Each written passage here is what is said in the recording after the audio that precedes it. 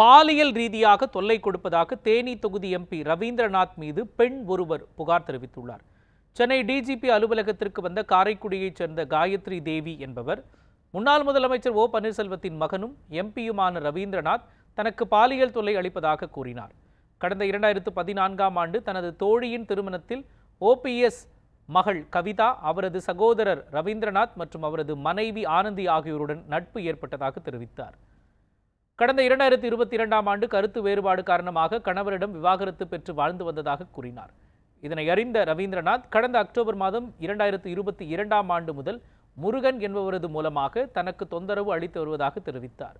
மேலும் அவரது விருப்பத்திற்கு மறுப்பு தெரிவித்ததால் எனது குடும்பத்தினருக்கு கொலை மிரட்டல் விடுப்பதாக கூறினார். இது தொடர்பாக தாம்பரம் ஆணையரிடம் புகார் அளித்தும் நடவடிக்கை எடுக்காததால் போதிய ஆதாரங்களுடன் புகார் அளிக்க வந்த நிலையில் டிஜிபி அலுவலகத்தில் புதன்கிழமை புகார் அளிக்க உள்ளதாக தெரிவித்தார். அப்போ வந்துட்டு நான் சொன்னேன் அண்ணன் உங்களை தங்கச்சி மாதிரி பழகிருக்கேன் இவ்வளோ காலம் ஒரு எட்டு ஒம்பது வருஷமாக அப்படி பழகி இருக்கிறோம் ஆனால் நீங்கள் வந்து இப்படி திடீர் பேசுகிறீங்க நல்லா இல்லைண்ணே இந்த மாதிரி பேசாதீங்கன்னா அவர் அது இதுவே பண்ணல. ஏன் இது சும்மா இரு. நீ எனக்கு தெரியும். நீ என்ன இப்படிலாம் பேசிட்டு இருக்க. நான் யார்? என்ன? உனக்கு வந்து நான் எல்லாமே செய்கிறேன் நான் உன்னை பார்த்துக்கிறேன் மலர் மாதிரி நான் உன்னை வச்சு பார்த்துக்கிறேன் நான் கல்யாணம் கூட பண்ணிக்கிறேன் அப்படின்னாரு. நான் சொன்னேன் அண்ணா இது நல்லா இருக்காண்ணே உங்கள் பேச்சு நல்லா இருக்கா? ஒரு ஃபேமிலியிலேருந்து ஏற்கனவே நீங்கள் ஒரு தப்பு பண்ணி போயிருக்கீங்க. அதுவே வந்து ஒரு பெரிய தப்பு.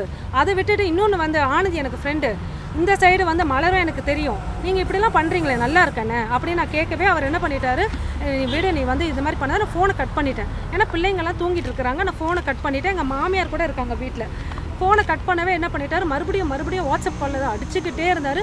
சரின்னு எதுக்கு எடுத்தோம்னா ரொம்ப ஆபாசமாக நான் வந்து அந்த ஆபாசத்தை வந்து அவர்கிட்ட இருந்து எதிர்பார்க்கல. சத்தியமாக அவர் வந்து இப்படி ஒரு பேசுவார் நான் எதிர்பார்க்கல. ஆனால் எனக்கு கொஞ்சம் பயமாக இருக்குது நீங்கள் கொஞ்சம் எடுத்துக்கோங்க சார் நான் எவ்வளவோ கெஞ்சினேன். அவங்க வந்து நாளைக்கு டென் ஓ கிளாக் வாங்க. கண்டிப்பாக எடுத்துக்கிறோன்னு இருக்காங்க. சரி நாளைக்கு நான் கண்டிப்பாக டென் ஓ கிளாக் வருவேன். வந்து நான் கம்ப்ளைண்ட் கொடுக்க தான் போகிறேன் இதுக்கிடையில் எனக்கு என்ன ஒரு மிரட்டல் வந்தாலும் அதை நான் பொருட்படுத்தவும் போகிறதில்ல கண்டிப்பாக நாளைக்கு நான் இருந்தேன்னா கண்டிப்பாக வந்து கம்ப்ளைண்ட்டும் கொடுப்பேன். நான் இருக்கிற வரைக்கும் அந்த கேஸை நான் விடவும் மாட்டேன்.